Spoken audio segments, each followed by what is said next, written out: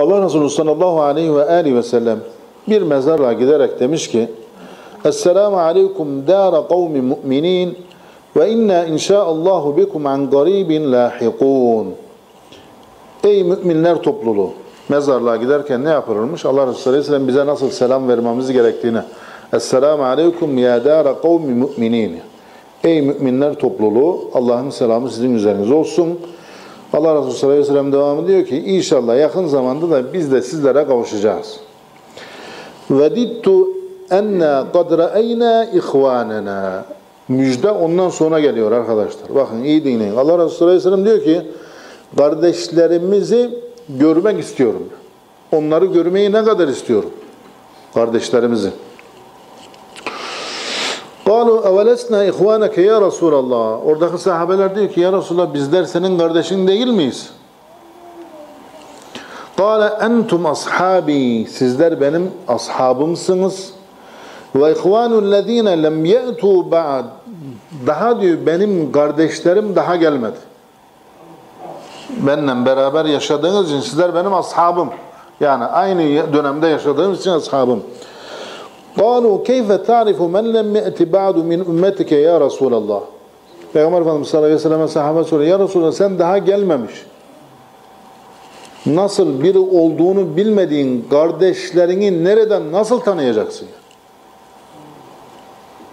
Gençler bakın iyi dinleyin. Allah Resulü sallallahu aleyhi ve sellem ya bizi nereden tanıyacakmış ya?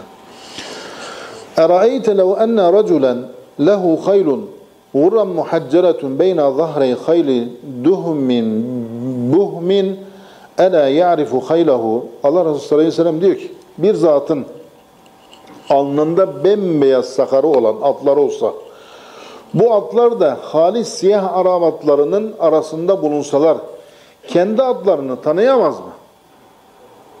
Yani bugün bir adam ta kaç metre ileriden görse kendi arabasını bile tanıyor. Araba ya benim arabam. Şunu şunu vardı, şunusu vardı. İşte Allah Resulü sallallahu aleyhi ve sellem öyle de yani bir insan diyor kendi arabasını, bineğini tanıyamaz mı bu bineklerin, arabaların içinde?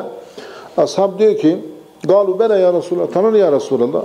قال فإنهم يأتون غرا محجلين من الوضوء وأنا فرطهم على الحوض. Allah Resulü sallallahu aleyhi ve sellem diyor ki işte onlar benim ümmetimden olup aldıkları abdestlerinden dolayı yüzleri ve abdest azaları bembeyaz gelirler. Abdest azaları bembeyaz. Demek ki abdestsiz gezme yok.